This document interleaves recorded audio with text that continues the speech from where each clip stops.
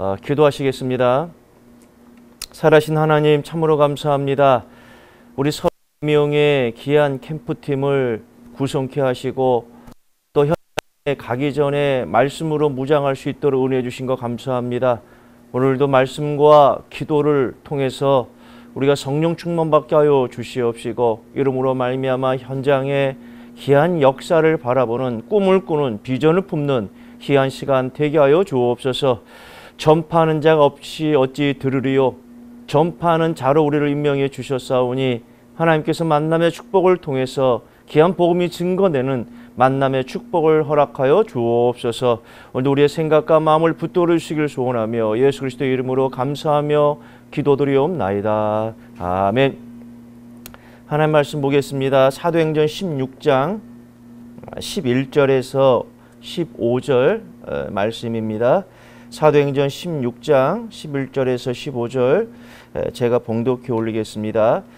우리가 드로아에서 배로 떠나 사모 드라게로 직행하여 이튿날 레아볼리로 가고 거기서 빌립보에 이르니 이는 마게도냐 지방의 첫 성이요 또 로마의 신민지라 이 성에서 수위를 유하다가 안식일에 우리가 기도할 곳이 있을까 하여 문밖 강가에 나가 거기 앉아서 모인 여자들에게 말하는데 두아디라 시, 시에 있는 자주 자색 옷감 장사로서 하나님을 섬기는 누디아라는 한 여자가 말을 듣고 있을 때 주께서 그 마음의 마음을 열어 바울의 말을 따르게 하신지라 그와 그 집이 다 세례를 받고 우리에게 청하여 이르되 만일 나를 주민는 자로 알거든 내 집에 들어와 유하라 하고 강권하여 머물게 하니라 아멘. 오늘은 어, 제목이 어, 현장의 절대 제자입니다. 그러면서 이제 교회가 처음으로 어, 탄생이 됩니다. 아, 오늘 말씀을 통해서 여러분 마음속에 어, 꿈을 갖기를 바랍니다. 하나님, 우리들의 이 현장을 통해서 귀한 만남의 축복을 주시고 그 현장에 아, 교회가 세워지는 귀한 역사 임하게 하여 주옵소서 이런 꿈을 꾸며 오늘 말씀을 듣는 어, 여러분 되시기를 바랍니다. 저번에 우리가 말씀드린 것처럼 왜 하나님께서 아시아의 복음 증가하기를 막으셨는가? 바울의 마음은 이 소아시아 지역의 복음을 증가하기를 원했습니다. 그래서 이 수리아 안디옥에서 자 바울과 신라가 출발했습니다. 그리고 루스드라에서 디모데가 합류합니다. 그 바울의 마음은 이 북쪽이었거든요. 이 북쪽에 아시아 지역의 복음을 증가하기를 원했는데 성령이 막으신 거예요. 바울은 몰랐습니다. 왜 성령이 막으시는지. 그 부분에 대해서 제가 저번 주에 말씀드렸습니다. 이 구속사의 역사가 분명히 있어요. 하나님의 흐름이 있어요. 그 성경은 그냥 있는 것이 아니라 원줄기가 있고 격가지가 있습니다. 그 원줄기는 뭐냐면 창세기 3장 15절에 그러니까 세상의 시작도 창세기 3장 15절부터 시작됩니다. 죄가 들어올 때 이제 세상이 시작되는 거예요. 세상의 끝은 예수 그리스도의 재림입니다. 그 세상의 시작이 하나님이 약속하신 거예요. 창세기 3장 이후로부터 인간에게는 죄가 임했습니다. 왜 죄가 무섭냐면 죄는 대가가 있어요. 그것이 사망입니다. 죄의 싹은 사망. 그래서 사망이라는 단어가 이 헬라어로 게헨난이라는 단어인데 다른 말로 하면 지옥이 지옥. 그러니까 죄 열매는 지옥이에요. 그러니까 죄 문제를 해결받지 못하면 지옥 가는 거예요. 누가 지옥 갑니까? 죄 문제 해결받지 못한 사람들이 지옥 가는 거예요. 누가 천국 갑니까? 죄 문제 해결받은 사람이 천국 가는 거예요. 그러니까 아담 이후의 모든 사람은 죄 씨앗이 임했기 때문에 죄 결과로 사망이 이른 거예요. 그러니까 하나님은 이 땅을 구원시키기 위해서 작정하신 겁니다.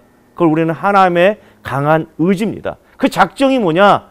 여자의 후손을 보내겠다. 그게 구약의 역사. 그리스도를 보내겠다.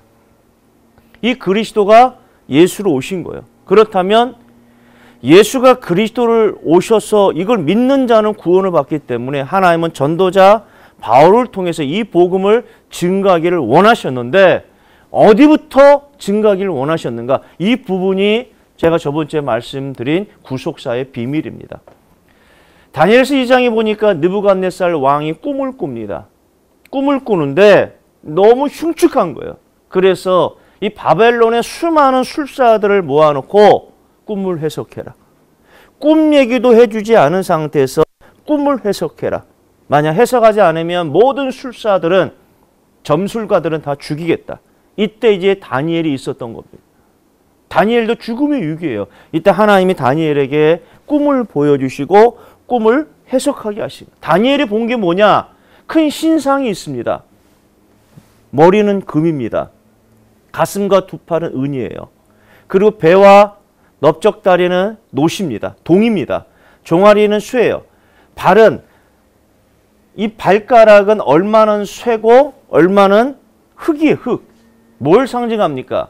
이 머리는 지금 당신 느부갓네살 왕이 지배하는 바벨론 제국입니다. 이 바벨론 제국도 언젠가는 무너지고 새로운 나라가 제국이 오는데 그것이 메데 바사 제국, 다른 말하면 페르시아 제국이. 이 나라도 멸망하고 이제 헬라 제국, 즉 알렉산더 대왕을 통해 세계가 정복될 겁니다. 그리고 헬라 제국이 무너지고 로마 제국이 될 겁니다. 이 로마 제국도 무너질 겁니다. 그래서 자 손대지 아니한 돌이 여기를 발을 쳐버리니까 이게 와르륵 무너지는 거예요. 다른 말하면 손대지 아니한 돌은 장차 오실 예수 그리스도를 상징합니다. 뭘 얘기합니까? 바울은 손대지 아니한 이 복음을 가지고 어디로 가는 거예요, 지금? 로마를 치기 위해서 가는 거예요. 이게 하나님의 구속사의 여정이에요. 하나님은 손대지 아니한 돌, 다른 말로 하면 이 그리스도의 복음으로 세계 강대국 로마를 치기 위해서 가는 거예요. 그 성령께서는 아시아의 복음 증가하기를 원하시 아니하는 겁니다. 시간표가 아닌 거예요. 그래서 바울 팀을 지금 어디요? 유럽으로 해서 로마로 이끄신 거예요. 그래서 바울은 성령의 인도에 따라서 자 여기에 도착했습니다. 드로아에서 배를 타고 드디어 이 마게도냐라는 나라의 첫성 빌립보에 온 거예요. 로마의 식민지입니다. 여러분 마게도냐가요. 알렉산더 대왕의 나라입니다. 이 알렉산더 대왕이 젊은 나이에 세계를 정복하고 모든 세계를 정착시킨 사람이에요. 그 나라도 결국에는 무너지고 로마가 지배하게 된 겁니다. 그래서 이 마게도냐라는 나라의 빌립보 또 수도가 데살로니가입니다. 베레아, 아덴. 바울이 여기서 복음을 준 거예요. 그리고 배를 타고 이제 아가야라는 나라가 있습니다. 이 아가야의 수도가 어디냐? 고린도예요. 그래서 바울의 2차 세계 선교 핵심은 마게도냐와 아가야입니다. 여기에 도시들이 빌립보, 데살로니가, 베레아, 아덴, 고린도예요. 드디어 성령께서는 바울 팀을 이끄십니다. 근데 중요한 게 이 빌립보서부터 이 고린도 지역은 헬라 문화에 소속이 됐어요. 그러니까 많은 신전이 있습니다. 그러니까 신전이 많다는 것은 그만큼 어떻게 해요? 음란하다는 거예요. 그러니까 우상과 음란은 결국 불가문의 관계거든요. 그러니까 이 지역은 귀부인들 또 여인들이 유대교에 유대교로 개종한 사람이 많아요. 왜냐하면 이 헬라 문화의 영향권이 있다 보니까 수많은 우상이 있습니다. 우상 자체가 음란하거든요. 그 음란하다는 것은 결국 가장 피해자는 가정이고 자녀들입니다. 그래서 헬라의 귀부인들이나 여인들이 유대교로 많이 개종했어요. 왜? 유대교는 굉장한 그 거룩성이 있거든요. 일부 일처제고 또 음란을 배격하고 유일신을 섬기는 종교이기 때문에 많은 헬라인들과 기부인들이 유대교로 개종했습니다. 그래서 우리가 2차 세계 선교 다른 말은 사도 16장부터 가는 지역에 보면 헬라의 기부인들이 이런 용어들이 굉장히 많이 나와요. 그걸 여러분들이 이해하시고 보시면 어, 될 것 같습니다. 그만큼 이제 음란해요. 우상이 많다는 건 음란합니다. 바울이 그 현장을 지금 들어가는 거예요. 첫 번째 현장이 빌보 지역입니다. 이 빌보 지역이 어떤 지역인가?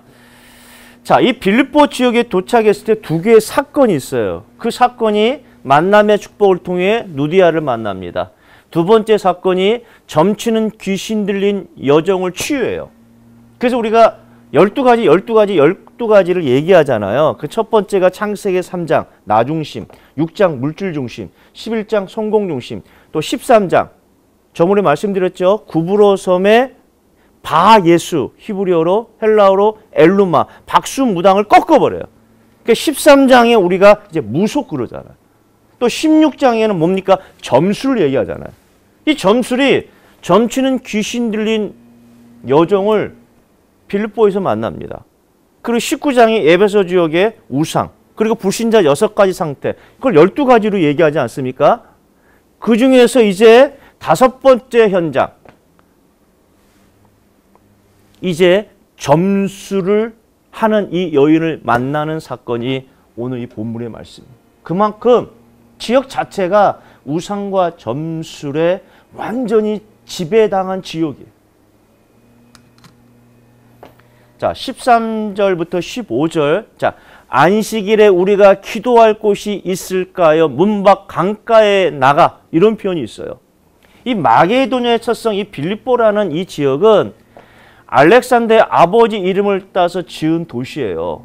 그 데살로니가는 알렉산더의 이복누 이름을 딴 이름이 데살로니가입니다. 이 빌립보라는 지역의 특징이 있어요. 한마디로 이 빌립보 지역은 작은 로마라고 생각하시면 돼요.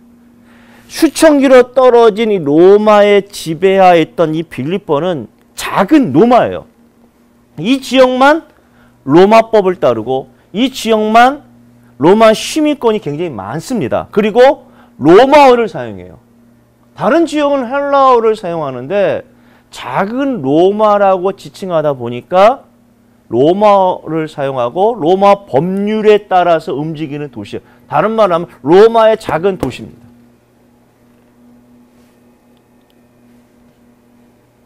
여기서 만남의 축복이 일어납니다. 다른 말 하면 유럽 선교의 첫 열매가 누디아입니다. 그것도 최고의 상류층, 귀족 출신, 상인 출신의 누디아를 만나게 돼요. 근데 중요한 게 어디서 만나느냐? 안식일에 우리가 기도할 곳이 있을까요? 문밖 강가에 나가 거기 앉아서 빌보에 도착하자마자 제일 먼저 바울이 한 것은 뭡니까? 며칠 있다가 안식이 되니까 기도하러 간 겁니다. 바울의 성교의 전략은 제가 말씀드렸죠. 첫 번째는 유대인입니다. 두 번째는 회당입니다. 그런데 안식일에 회당을 가야 되는데 이곳에 회당이 없어요. 아니 10명만 유대인이 모이면 회당을 짓는 민족이 이 빌립보 지역에만 회당이 없어요. 이 말은 유대인이 없든지 아니면 지역 사람들이 유대인을 핍박해서 추방했든지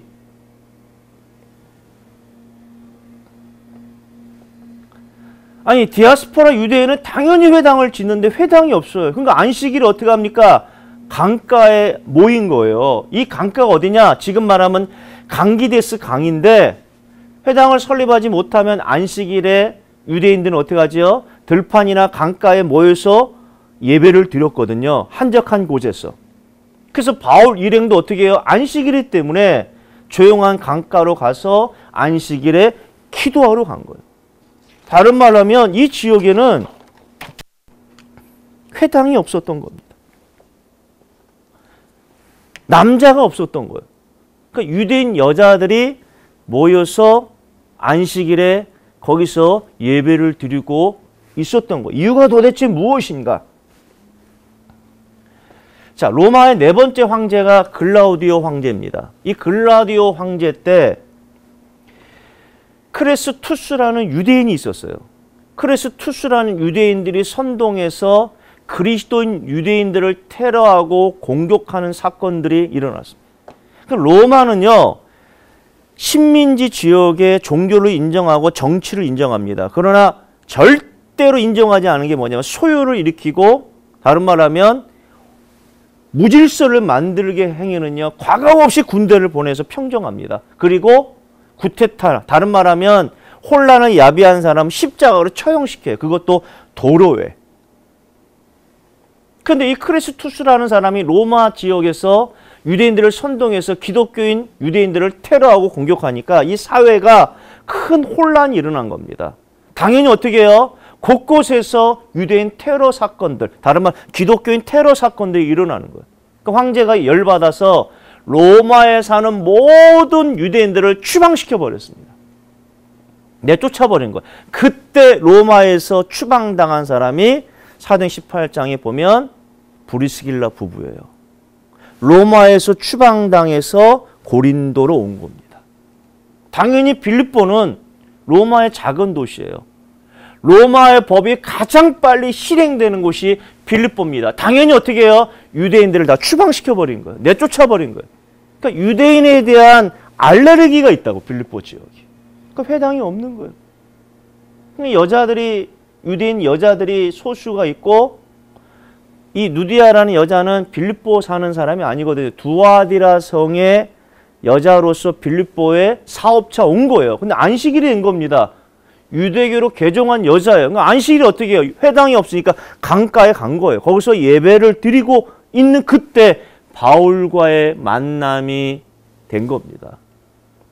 왜냐하면 두아디라는 이 지역은 직조와 자색 염료 사용 기술이 뛰어난 지역으로서 이 누디아는 사업의 확장을 위해서 빌립보 온 겁니다. 당연히 상당한 재산을 소유하고 상류층 여인이고 상인 귀족이에요. 헬라인인데 유대교로 개종한 사람이에요. 당연히 유대인들은요 두 가지를 지켜야 되거든요. 안식일과 율법을 지켜야 돼요. 그러니까 안식일 날 빌립보 지역에 왔더니 회당이 없는 거예요. 그래 강가에 유대인들이 모인 겁니다. 남자는 없어요 거의 여자들만 모인. 이것이 이제 하나님의 계획입니다. 유럽 전도를 위해서 하나님께서는 이 만남의 축복을 준비하신 거예요.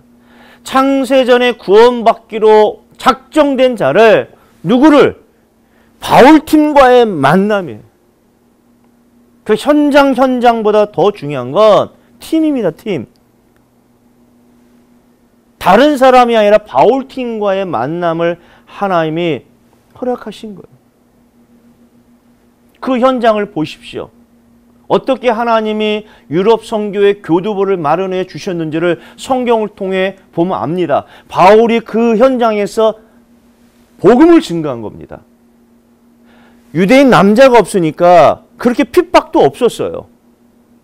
그 유대인 여자들 그것도 헬라인으로서 유대교로 개종한 사람들이 많이 모였을 겁니다. 거기서 복음을 증거한 거예요. 그때 누디아가 들었습니다. 그리고 마음의 문을 열어 바오의 말을 따르게 한지라 이 말은 깨달은 거예요. 그와 집이 다 세례를 받았다는 건 영접입니다. 그러니까 복음을 증거한 사람이 있으니까 들었지요. 하나님의 은혜로 들은 말씀을 깨달았죠. 깨달으니까 어떻게 해요? 그 예수 그리스도를 영접한 겁니다. 영접했더니 이 여인이 뭐라고 합니까? 우리에게 청하여. 우리라는 건 바울, 신라, 디모데, 루가 네 명입니다. 만일 나를 주 믿는 자로 알거든 내 집에 들어와 유하라고 강권하여 머물게 아니라. 여기서 우리가 말하면 이제 미션홈이 된 겁니다.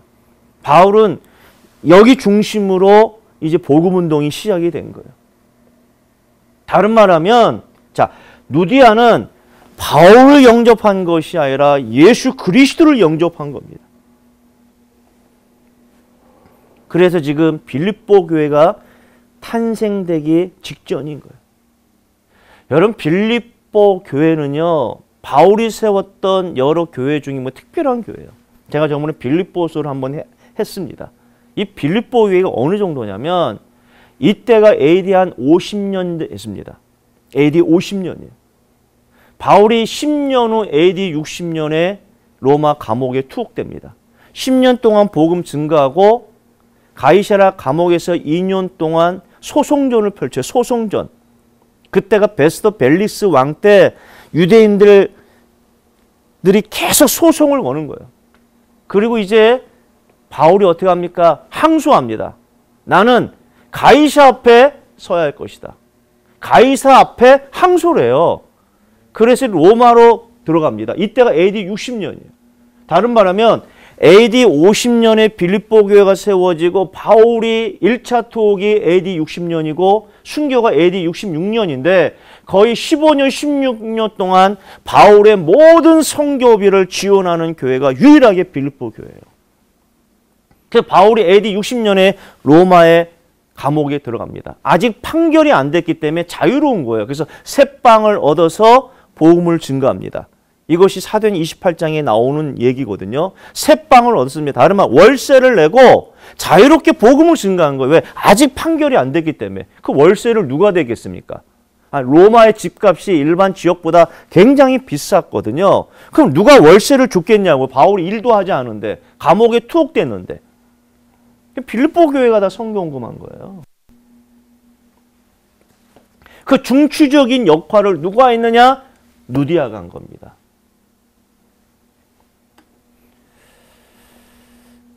그래서 유럽 성계 첫 열매가 상류 계급 출신의 여인 누디아가 복음을 받게 됩니다. 이게 첫 번째 사건이에요. 그러니까 우리가 현장에서 누구를 만날지 몰라요. 하나님이 예비해 두신 영혼들이 있습니다. 누구에게? 바울팀에게 연결한 겁니다. 그래서 우리가 준비하는 거예요. 현장에 게 중요한 게 아니라 누가 가느냐가 중요해요. 현장에 가서 뭐 할 건데요? 아니, 우리 삶이 현장인데 왜 시간을 내서 현장에 가겠습니까? 현장의 포인트가 아니라 누가 가느냐가 중요해요. 갈 때 어떤 마음으로 가느냐, 어떤 자세로 가느냐, 어떻게 무장하느냐가 중요합니다. 쓰러져 가는 기업도 새로운 사장이 와서 세우는 겁니다. 잘된 것도 새로운 사람이 갔을 때 무너질 수 있어요. 현장 현장보다 더 중요한 건 누가 가느냐. 누가 가느냐가 중요해요. 어떤 자세로 가느냐. 그것이 오늘 두 번째 현장에 분명히 보여집니다. 자, 두 번째는 뭐지요? 점치는 귀신 들린 여종을 치유하는 사건입니다. 자, 누디아는 그 당시 최고의 지위를 가진 여자예요. 여자로서 여러분들 상인 귀족, 여자로서 상류층, 여자로서 상당한 재산을 소유한 사람이 얼마나 있겠습니까? 남성 소유의 나라들이고 남성 소유의 지역들인데 최고의 상류층입니다. 0.001%의 상류층이 누디아예요. 오늘 이 현장은 완전히 버림받은 어떤 면에서는 인생의 꿈과 희망이 없는 한 소년을 만나게 됩니다. 그것도 점치는 귀신 들린 여종이에요. 어떤 면에서 이런 여자들은 이런 여자들은 존경은 받았어요. 왜? 그 당시 문화가 뭐냐면 신이 사람의 지혜를 빼내고 신의 지혜를 넣어 주었다고 생각하거든요. 이 무속인들은. 그러나 존경은 받았지만 삶은 비참한 거예요.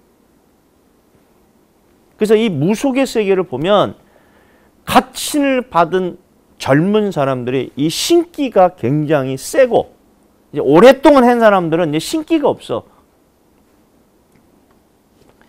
자, 이 여자를 만나게 됩니다. 어떤 면에서 우리 현장에서 볼 수 있는 여자들이에요. 자, 핵심은 뭐냐?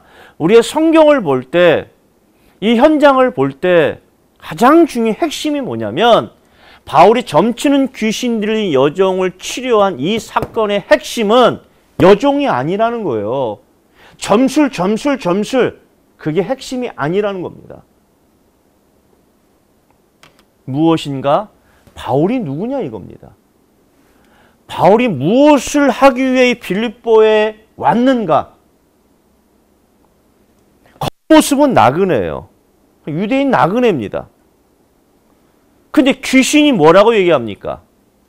자, 우리가 기도하는 곳에 가다가 이것도 기도하는 곳에 가다가 점치는 귀신 들린 여종 하나를 만나니 점으로 그 주인들에게 큰 이익을 주는 자라. 그가 바울과 우리를 따라와 소리 질러 이르되 이 사람들은 지극히 높은 하나님의 종. 귀신이 뭐라고 얘기하냐면 바울이 누구냐? 하나님의 종이라는 거예요.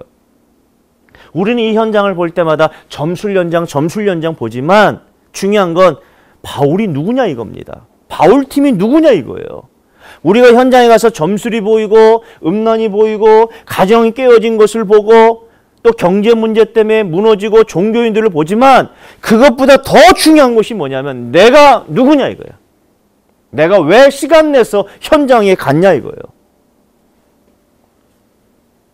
겉모습은 나그네지만 귀신이 바울 향해서 뭐라 합니까? 그는 지극히 높은 하나님의 종. 왜 이 빌립보 지역에 왔습니까? 구원의 길을 너희에게 전하는 자. 이것이 바울 팀의 영적인 정체성입니다. 저는 이 본문의 말씀을 묵상하면서 우리가 현장의 포인트를 놓친 거예요. 현장에 수많은 사람들을 봅니다. 우리가 다락방 메시지를 어느 정도 듣게 되면 보이잖아요. 무너진 가정 보이지 않습니까? 방황하는 청소년들 보입니다. 무속에 빠진 사람 보입니다. 경제 문제를 무너진 가정 봅니다. 그 보는 것 그것도 귀한 겁니다. 그러나 더 중요한 건 내가 누구냐 이거예요. 내가 왜 이곳에 왔는가? 아무도 모르는데 귀신 들린 이 여정은 정확하게 본 거예요. 그 현장을 기도하는 곳에 가다가 자 헬라어로 보면 기, 우리가 여기에 정관사가 붙어 있어요. 관사가 붙었다. 관사가 붙었다는 것은 지시형 관사거든요. 이 말은 바울이 기도하는 그곳 강가에 가는 도중에 이 여정을 만난 겁니다. 그러니까 여정을 만나려고 꿈을 꾼 게 아니라 여정을 만나고 기도한 게 아니라 기도하러 가다가 만남의 축복이 된 거예요. 그러니까 우리가 전도보다 더 중요한 건 기도입니다. 현장에 가기 전에 기도하는 거예요. 이거 정시기도의 힘입니다. 그 중요한 건 자, 여정을 보십시오. 뭐라 합니까? 그 주인들에게 큰 이익을 주는 자라. 주인이 한 명이 아니라 여러 명이에요. 여러 명에게 큰 이익을 주는 자라. 그만큼 이 여정이 빌보 지역에 차지하는 영적인 파워는 굉장한 겁니다. 몇 명인지 모르지만 복수의 주인들이 있었거든요. 이 복수의 주인들에게 큰 이익을 주었습니다. 그럼 이 주인들은 큰 이익을 어떻게 해요? 우리가 말하면 지방 공무원들에게 상납했을 겁니다. 이게 나중에 나오거든요. 그러니까 악어와 악어새와의 관계예요. 이 여인은 죽어라고 어떤 일을 하지만 자기에게는 아무 유익이 없어. 주인들에게만 유익을 주고 이 주인들은 얼마의 돈을 그 당시 상관들, 지방 공무원들에게 상납하는 결과는 뭡니까? 물질에 완전히 사로잡힌 현장이에요. 그러니까 무속 현장의 특징은 결국 음란과 물질입니다. 그 여정의 결국 그 행적에 대해서는 성경이 언급하진 않아요. 근데 자, 이 누가는 첫 번째 쓴 편지가 누가복음이거든요. 두 번째 쓴 편지가 사도행전입니다. 그럼 누가복음에서 예수 그리스도가 귀신 들은 여정을 치유할 때 그 귀신 나간 그 여인이 예수님의 발치에 앉아서 말씀을 들었다고 기록을 했다고 하면 대부분의 학자들은 이 여인은 빌보 교회의 일원이 되었을 것이다. 그렇게 봅니다. 저도 그렇게 봅니다. 빌립보 교회를 탄생할 때 누디아와 그 가정 두 번째가 어떻게 해요? 여정과 여정과 관계된 사람들이 분명히 빌립보 교회의 핵심 이론이 됐을 거라고 추측이 되어집니다. 자, 이 여인이 바울팀을 만날 때마다 성경은 여러 날을 하는지라 바울이 심히 괴로워하여 돌이켜 그 쥐, 귀신에게 이르되 예수 그리스도의 이름으로 내가 내가 명하노니 그에게서 나오라 하니 귀신이 즉시 나오니라. 여러 날을 계속 얘기하니까 바울이 괴로운 거예요. 처음에는 복음을 드러낸 줄 알았는데 나중에 어떻게 해요? 사람들이 주목하니까 복음 전파에 해방하는 결과를 낳게 되거든요. 그래서 어떻게 바울이 돌이켜 돌이켜 어떻게 해요? 이 괴로워하는 마음이 계속 있다 보니까 돌이켜 그 귀신을 그리스도의 이름으로 추방시켜 버립니다. 여기서 이 괴로워라는 이 단어는 헬라어로 보면 고통스럽다 이거예요. 고통스럽다. 주인들은 이 여인을 통해 이익을 얻어서 생활하는데 바울은 어떻게 해요? 그 아이를 그 소녀를 보고 괴로운 거예요. 그의 인생, 그의 영적 상태, 그의 미래, 착취당하는 이 여인의 모습을 보고 고통을 느낀 고통을. 전도자에게는 이런 고통이 있어야 됩니다. 그래서 하나님의 말씀을 우리는 현장 열매, 현장 열매 이런 초점으로 보기보다는 하나님 전도자에게 주시는 그 괴로움을 허락하여 주옵소서. 현장을 볼 때마다 우리의 가문을 볼 때마다 영적 문제로 죽어가는 우리 형제를 볼 때마다 우리 부모님을 볼 때마다 괴롭다는 그 마음. 괴로움이 있어야 돼요. 저에게도 이 괴로움이 있어야 돼. 메시지보다 더 중요한 게 뭐냐면 괴로움이 있어야 돼. 괴로움 없이 하는 메시지는요. 그냥 지식적 전달밖에 안 됩니다. 그냥 듣고 말하는 것밖에 안 돼요. 앵무새밖에 안 됩니다. 여러분 앵무새에게 무슨 감동이 됩니까? 그 메시지가 내 심령에 들어와서 나를 고통스럽게 하는 거예요. 한 맺힌 메시지가 되는 겁니다. 한 맺힌 기도가 되는 거예요. 그래서 나오는 한 맺힌 메시지가 영혼을 소생시키고 영혼을 변화시키는 겁니다. 그래서 기도할 때 하나님 바울팀 아니 바울에게 주셨던 이 영적 괴로움을 우리에게 주옵소서. 왜? 우리는 현장에 하나님의 종으로 구원의 길을 제시하는 자입니다. 한 사람 한 사람 볼 때 이 마음을 주시옵소서. 기도가 돼요. 이때 나오는 권능이 있습니다. 이때 나오는 권세가 있어요. 마가복음 16장 17절 보니까 믿는 자들에게는 이런 표적이 따르니 곧 그들이 내 이름으로 그리스도의 이름으로 귀신을 쫓아내며 뱀과 정갈을 밟으며 원수의 모든 능력을 제어할 권능을 주셨다. 너희를 해칠 자가 결코 없으리라. 그 성령께서 한탄하는 괴로워하는 그 마음이 있는 사람에게 나오는 메시지와 그리스도의 능력은 폭발력이 있어요. 그래서 우리가 기도하는 겁니다. 34명이 뽑혔으니까 언제 전도하지? 언제 현장 가지? 그보다 더 중요한 건 가기 전에 우리가 기도하는 겁니다. 하나님, 바울에게 주셨던 이 괴로움을 허락하여 주옵소서. 그 주인들에게 얽매인 이 소년을 볼 때마다 안타까움이 있게 하여 주옵소서.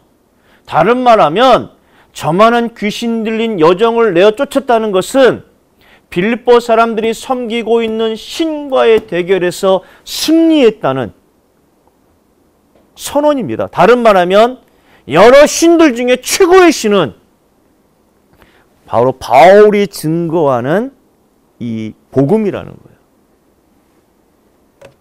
자, 복음이 강하게 증거된 현장에는요, 사단의 강한 저항이 오게 되어 있습니다. 당연합니다. 왜? 이 나라는 하나님의 나라와 크감의 나라가 있습니다.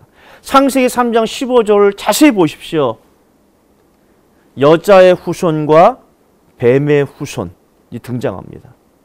다른 말하면 이 땅은 하나님의 나라, 여자의 후손의 나라와 뱀의 후손의 나라가 공존하는 직선적 역사관을 가지고 있어요.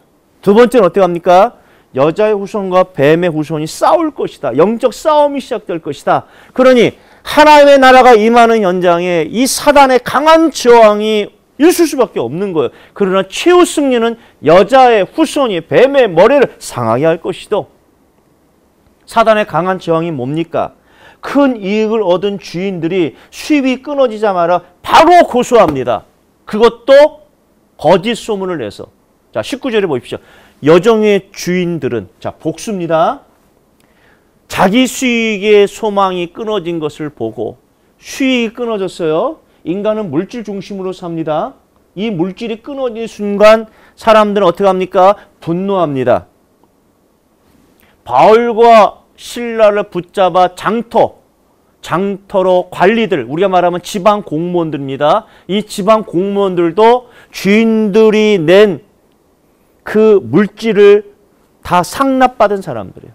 이 사람들도 물질의 수익이 끊어졌습니다. 당연히 분노하겠죠?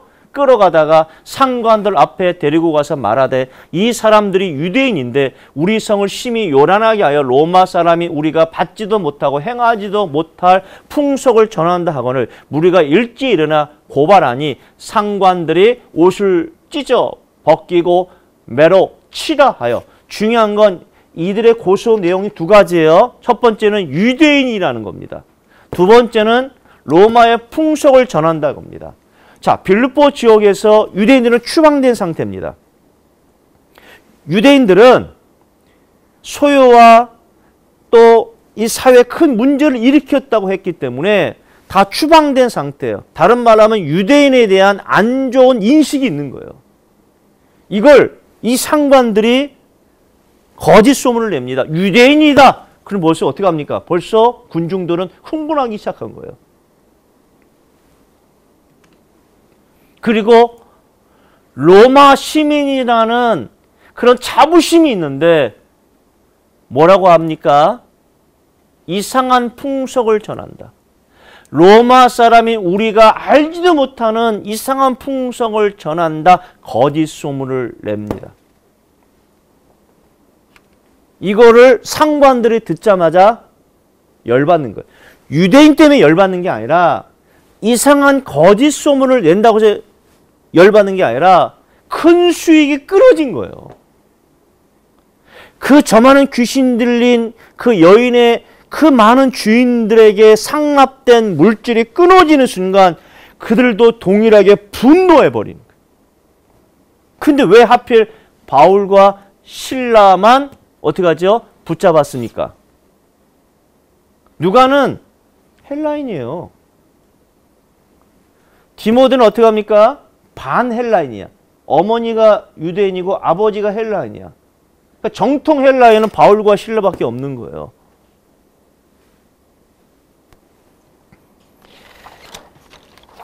저만한 귀신 들린 여종의 주인들이 고소하는 내용을 듣고 이 상관들은 열이 받친 거예요. 왜? 상납된 물질이 끊어지니까.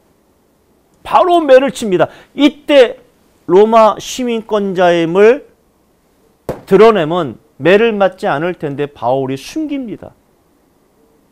바울이 숨겨요. 왜 그렇습니까? 분명히 그곳에 하나님의 계획이 있을 것이다. 나는 매를 맞고 나는 죽을 정도로 매를 맞지만 분명히 하나님의 숨은 계획이 있을 것이다. 간수와 그 가족. 그때는 몰랐지만 바울은 분명히 하나님의 숨은 계획이 있었을 것이다. 그러니까 상관들은 어떻게 합니까? 묻지도 않습니다. 재판도 하지 않습니다. 그렇죠. 로마의 강한 영향력을 받은 빌립보 지역에서는요. 이거 상상치 못할 일이에요. 로마법은 그렇지 않아요. 아무리 죄수래도 아무리 큰 죄를 져도 판결 후에 어떻게 합니까? 형벌이 주어지는데 바울과 신라는 그 주인들의 말만 듣고 어떻게 해요? 상관들이 매를 치라 그러는 거예요. 여기는 감정이 들어간 거거든요. 여긴 분노가 들어간 겁니다. 원한이 들어간 거예요. 옷을 찢어 벗기고 매로 치라. 왜? 유대인의 태형은요. 신명기 22장에 보니까 40에 하나 감한 매를 때리라고 말합니다. 40대 이상은 때리지 말라고 그래요. 매를 때릴 때 그 사람이 죽게 되거든 멈추라는 거예요. 꼭 39대만 때리라는 게 아니라 그러니까 태형은 죽이라고 때리는 게 아니거든요. 근데 로마의 태형법은 다릅니다. 어떤 절차가 없어요. 상관의 정지 명령 있을 때까지 때립니다. 그러니까 상관이 어떤 감정이 있거나 원한이 있거나 분노가 있으면 때리다가 때려서 죽이는 거예요. 많이 친 후에 여긴 감정이 들어간 거예요. 분노가 들어간 거예요. 물질이 상납이 끊어지는 순간 빌보 관리들은 죽도록 때린 겁니다. 그리고 나서 어떻게 합니까? 든든히 지키라. 깊은 옥에 가둬라. 발에 착고를 든든히 채워라. 이 말은 철저히 인종적 차별입니다. 유대인이기 때문에. 또 하나는 뭐죠? 이익적 관계가 끊어지니까 감정과 분노와 원한이 있는 겁니다. 자, 로마의 감옥법은 감옥 감옥은 특이한 게 있어요. 보통 감옥은 그냥 죄수들을 풀어놓습니다. 햇볕을 내리쬐을 수 있도록. 약간의 중범죄는 어떻게 해요? 내옥이라고 해서 견고한 빗장을 차고 잠그는 겁니다. 지하 감옥은 뭐예요? 사형수들이 수검하는 거예요. 곧 죽을 사람들. 착고에 채울 정도면요. 이건 사형수 중에서도 극극 사형수라. 근데 바울은 그런 죄도 짓지 않았거든요. 그런데 어떻게 해요? 깊은 옥에 가둬라. 사형수들이 가누는 곳에 가두고 발에 착고를 채워라. 이 말은 일종의 고문 도구까지 채운 거예요. 이거는 감정 분노 원한입니다. 사단의 강한 저항이 이렇게 바울에게 임한 거예요. 바울은 나중에 디모데에게 편지를 씁니다. 이때가 AD 한 63년 전경이니까 13년 후에 아들 디모데에게 쓴 편지 이렇게 얘기해요. 디모데가 봤잖아요. 복음으로 말미암아 내가 죄인과 같이 매이는 데까지 고난을 받았으나 하나님의 말씀은 매이지 아니하니라. 사단은 바울이 복음 증가하지 못하도록 하나님의 말씀을 가둬버렸는데 그 하나님의 말씀이 누구에게 임한 겁니까? 그 제수와 가족들에게 임한 거예요. 어떤 사건이 일어납니까? 자, 바울의 몸 상태는 지금 어떻습니까? 죽이려고 하는 자세로 때린 거예요. 이 말은 거의 죽기 일보 직전입니다. 그런데 바울의 모습을 보시죠. 한밤중에 바울과 신라가 기도하고 하나님을 찬송함에 죄수들이 듣더라. 이런 환경 속에 기도가 되어질까? 이런 환경 속에 찬양이 되어질까? 온 몸을 지금 맞은 상태입니다. 감정이 섞인 상태로 맞았다는 건 죽도록 맞은 상태예요. 그런데 어떻게 찬양이 나올까? 찬양이 나온다는 건 그 내면에는 감사가 있는 거거든요. 여러분, 감사가 없는 사람 어떻게 찬양합니까? 기도는 할수 있어요. 근데 찬양은 다르거든요. 이게 상식으로 이해되겠습니까? 합리적으로 이해되겠습니까? 이성적으로 이해되겠습니까? 교회를 이성적으로 보는 게 아니거든요. 성도를 이성으로 보는 게 아닙니다. 이성으로 보니까 다툼이 나고 분쟁이 되는 거예요. 합리적으로 생각하자. 그러니까 교회가 싸움이 일어난 거거든요. 합리와 이성을 따진 사람들이 이 본문의 말씀을 보십시오. 이게 이성적입니까? 합리적이냐고요. 도대체 사람으로서 하지 못하는 행위를 하고 있는 거예요. 중요한 건 기도할 때 하나님을 찬송할 때 죄수들이 듣더라. 이 말에 중요한 거거든요. 죄수들은 의아하게 생각한 거예요. 어떻게 저런 환경에서 신을 향해서 기도할까? 어떻게 신을 향해 찬송할까? 그들도 각각의 신이 있는데 각각의 신을 소유한 사람들이 감옥에서 하나같이 원망과 불평하고 신들을 향해 저주를 내뿜는데 어떻게 그가 믿는 신을 향해서 저렇게 매를 맞고 저렇게 두들겨 맞았는데 찬송과 기도가 될 수 있을까? 다른 말하면 그의 기도와 그의 찬송을 통해 죄수들을 완전히 결박시켜 버린 것. 이걸 우리는 영권이라고 말합니다. 사람들은 이렇게 얘기합니다. 내가 서밋이 돼서 하나님께 영광을 돌리고 싶다. 그런 중요한 게 서밋이 된 사람들이 하나님께 영광을 돌리지 않는 사람이 너무 많아요. 우리가 서밋 서밋 여기하지만 경제에 서밋된 사람들이 얼마나 하나님께 영광을 돌립니까? 학업에 서밋된 사람이 얼마나 주를 위해 삽니까? 우리가 말하면 최고의 대기업에 다닌 서밋들이 얼마나 교회 생활합니까? 왜? 하고 싶어도 못해요. 바빠서. 주일도 없어요. 제가 보니까. 일에 완전히 메인 거예요. 돈이 있어도 제도 쓰지 못합니다. 시간이 없어요. 아니, 교회 헌신하고 싶어도 시간이 있어야 되죠. 교회 사역하고 싶어도 시간이 있어야 되는데. 지금 극한 환경에서 주의를 지배시켜 버린 거예요. 심한 고통과 배고픔과 추위와 어떤 면은 어떻게 합니까? 몸이 아픈 상태에서 하나님 기도하고 찬송했더니 이 죄수들이 듣더라. 완전히 감동과 소망뿐만 아니라 지역을 정복해 버리는 것. 이걸 영권이라고 하거든요. 제가 옛날에 우리 어떤 권사님과 전도 운동을 했습니다. 참 대단한 분이었어요. 전도 운동 했더니 가정을 복음화 시키려고 했는데 본이 암이 온 거예요. 그래서 암이 걸려서 수술했습니다. 그 보험금을 수천만 원을 교회에 헌금했어요. 그 수술을 했어요. 그래서 제가 병원에 갔습니다.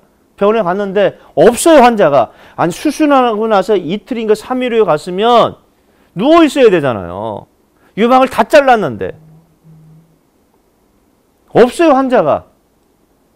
그 찾았더니 온몸에 붕대 감고 이 손에 깁스 해놓고 움직이지 못하고 돌아다니는 거예요 옆방. 왜 가냐 했더니 거기서 복음 증가하는 거예요. 그러니까 수많은 암 환자들, 원자력병 있는 암 환자들 이상하게 보는 거 아니 수술하고 나서 일주일도 아니고 보름도 아니고 2, 3일 후에 그렇잖아요. 이 붕대 피투성이가 되는데 돌아다니는 거예요, 아마. 근데 그게 세상 말로 먹혀요. 나는 지금 암에 걸려서 죽겠는데 나도 교회를 다니는데 나도 하나님 믿는다고 얘기하는데 나는 지금 원망하는데 나는 불평하는데 내 인생을 한탄하는데 아니 수술하고 나서 이틀 삼일 된 사람이 웃으면서 복음 증거하는 거예요. 근데 내가 막 뭐라 했다고요. 그랬더니 웃으면서도 얘기해. 아, 목사님 괜찮습니다. 근데요. 수술하고 나서 3년인가 4년 뒤에 돌아가셨어요. 재발해서 돌아가셨습니다. 제가 호스피스 병원에서 마지막 모습 봤어요. 흉측한 모습. 온몸에 암이 전이 되고 먹지를 못하니까 뼈밖에 없는 상태. 저도 알아보지 못하더라고. 얼마나 몰핀을 맞았는지. 그 인생이 비참합니까? 세상 사람들 볼 땐 비참하지만 하늘의 상급이 어느 정도겠냐고요.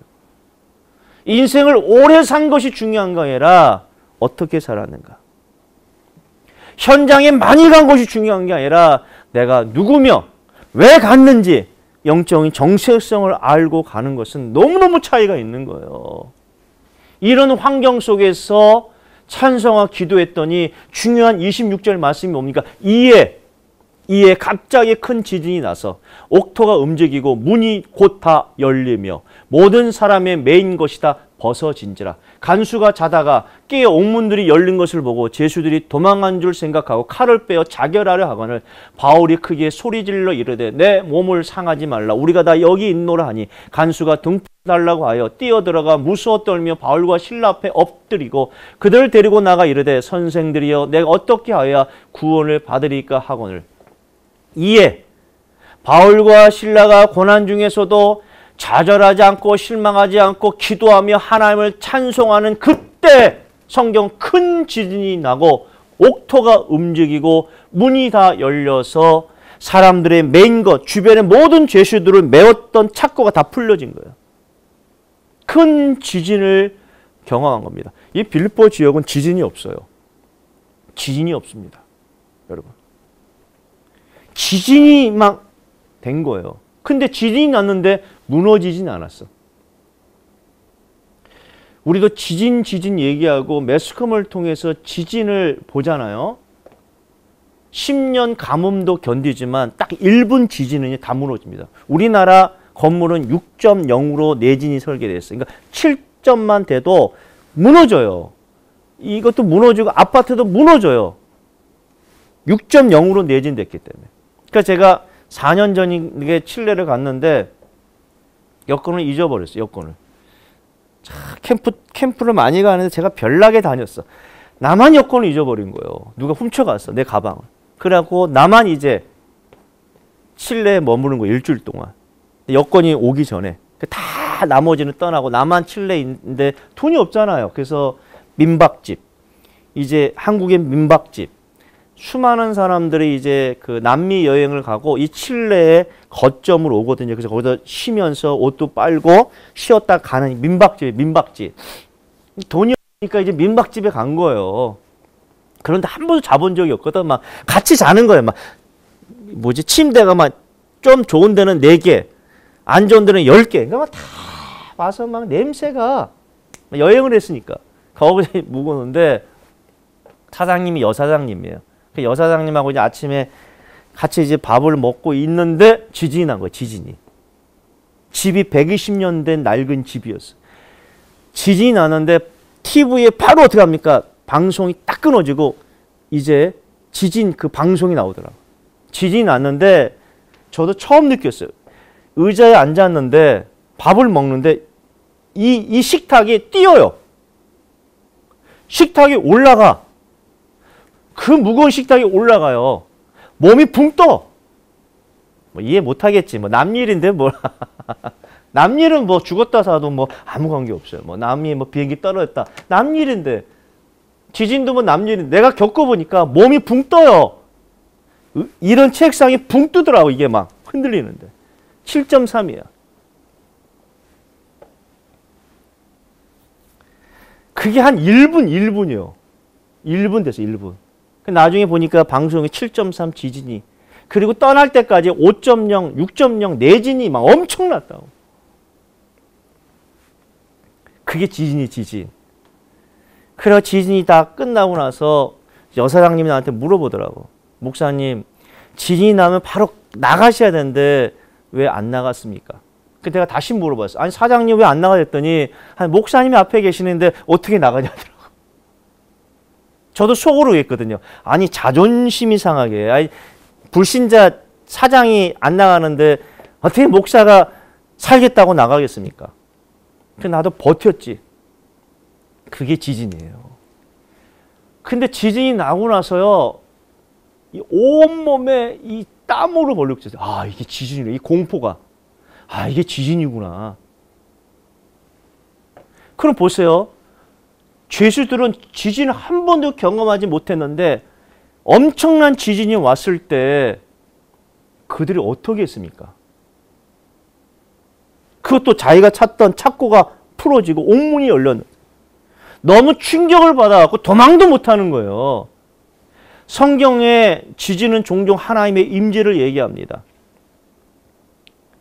지진이 나자마자 옥토가 움직이고 문이 다 열려 모든 제수들의 메인 착고가 풀어지는 거예요. 그럼 도망가야 되지 않습니까? 너무 공포심해요. 도망갈 수도 없어요. 발이 떨어지지 않는 거예요.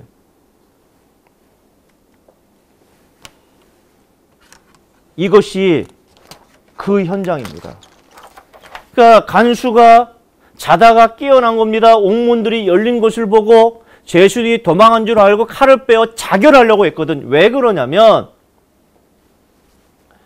로마의 법에서 죄수를 지키는 간수가 죄수가 탈옥하면 그 간수가 사형을 당하거든요. 그러니까 사형을 당하는 정도가 아니라 온갖 고문을 당하고 사형을 당하고 가족들은 어떻게 해요? 다 노예로 되었거든. 그러니까 죽는 것보다 더 힘든 게 고문을 당하고 죽으니까 이 간수가 알고 어떻게 해요? 자결하려고 한 거예요. 이 간사가 아닙니다. 간사가 아니라 간수예요. 간수는 지금 말하면 중간, 중류 계급이 아니라 중간 계급으로서 로마의 관리자였거든요. 자결하는 순간 바울이 얘기합니다. 몸을 상하지 말라. 내가 여기에 있을 것이다. 하나님이 모든 죄수들을 움직이지 못하도록 극한의 공포를 주신 거예요. 발이 떨어지지 않게 만드신 거라. 왜요? 하나님은 간수와 그 가문을 향한 구원 계획이 있었고 빌립보 교회를 세우고자 하는 하나님의 강한 의지가 있었다는 겁니다. 그 모습을 간수가 보자마자 뭐라 합니까? 간수가 등불을 달라고 하여 뛰어들어가 무서 떨며 바울과 신라 앞에 엎드렸다. 엎드렸다는 것은 로마인들 입장에서는 신적인 존재나 로마 황제를 대할 때 취하던 자세거든요. 왜? 헬라 문화에서는 가능해요. 헬라 문화에서는 신이 인간의 몸을 입고 이 땅에 왔다는 것이 보편적인 거예요. 로마의 신들 보면. 그래서 제가 얘기했죠. 루스드라에서도 바울이 안전변을 치유하는 순간 수많은 사람이 신이 내려왔다. 제우스 신이다.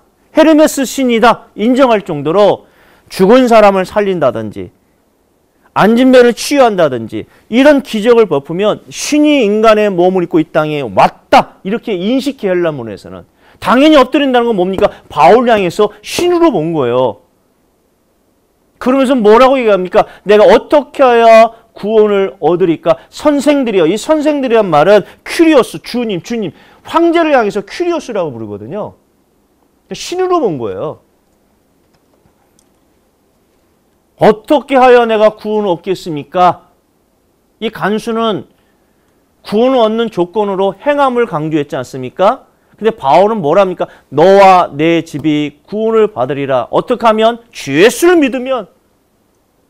그래서 우리가 이 본문의 말씀을 얼마나 많이 암기합니까? 주 예수를 믿으라. 그러면 너와 내 집이 구원을 받는다. 이 메시지가 얼마나 보편적이고 얼마나 많이 합니까? 그런데 언제 이 메시지가 나왔습니까?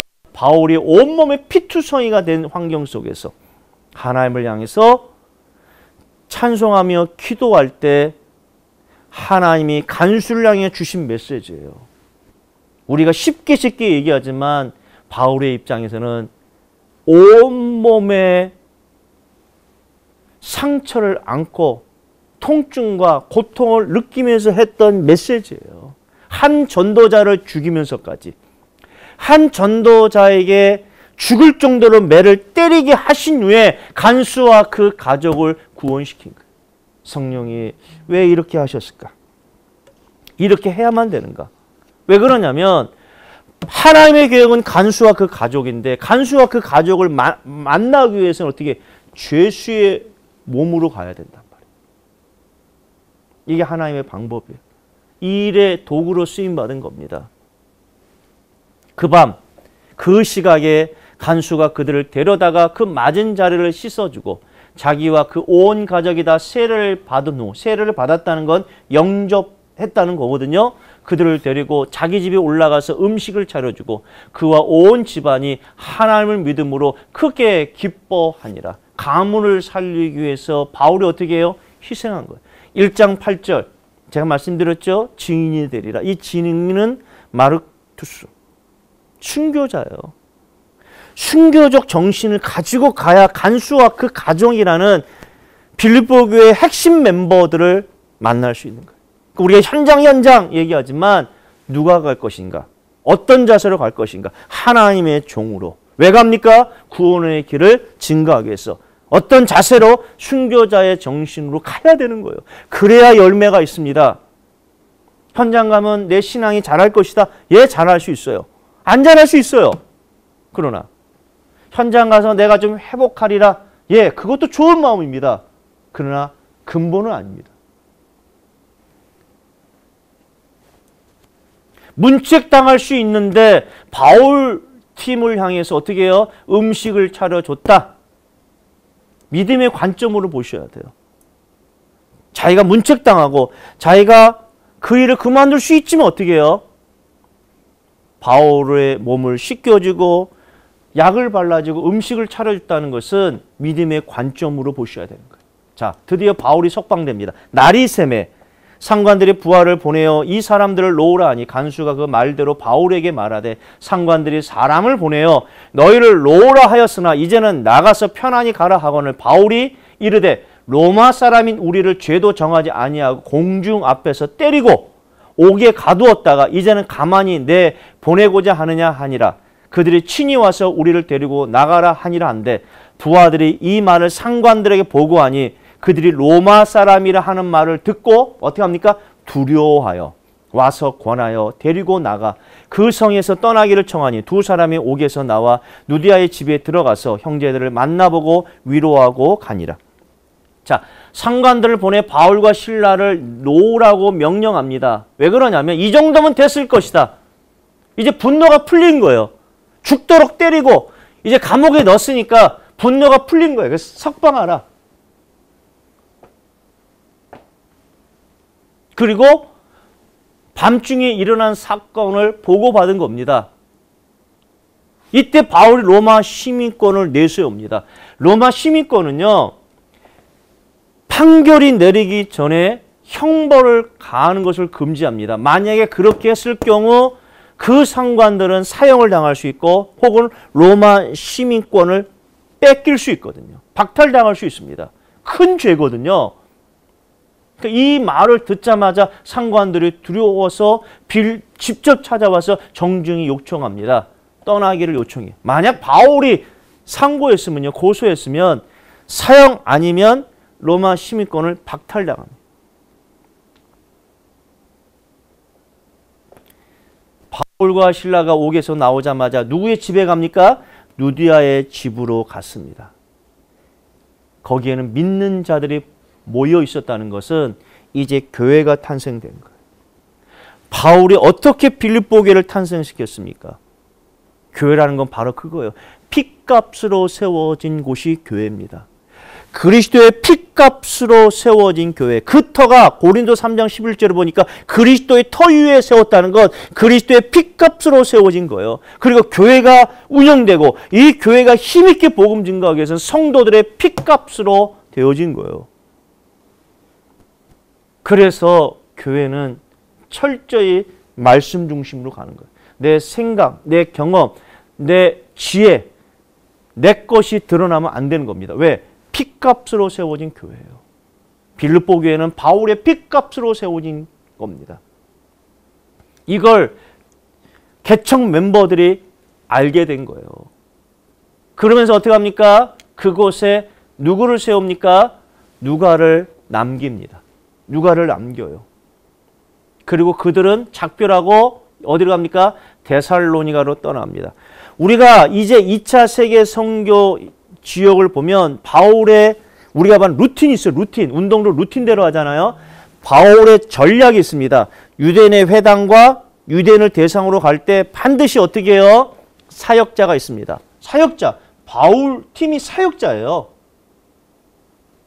그리고 반드시 현장에 들어가지 않습니까? 현장에서 제자를 만납니다. 그 제자를 양육하는 이 네 가지의 시스템이 있어요. 그러니까 우리 전도팀의 역할은 뭐냐면 여러분들이 사역자예요. 그리고 현장에 갑니다. 그래서 복음을 증거해요. 그 영접합니다. 영접한 사람들을 지역에 연결시켜 주는 거예요. 그러니까 우리의 역할은 양육은 아닙니다. 양육은 교구에서 하면 돼요.